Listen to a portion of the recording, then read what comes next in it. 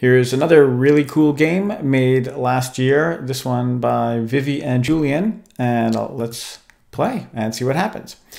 So, of course, you can use yourself once again as a character, and this is what they did. And if I play the game, I think I hit the spacebar. There we go.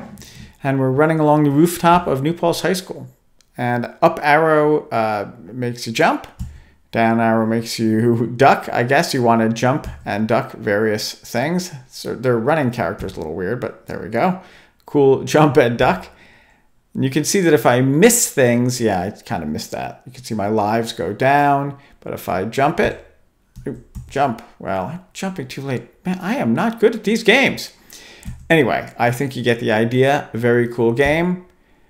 Not super complicated, but uh, very cool nonetheless. I think it's always cool when you get yourself as a character in the game. All right, uh, that's, well, game over for me, but you get the idea.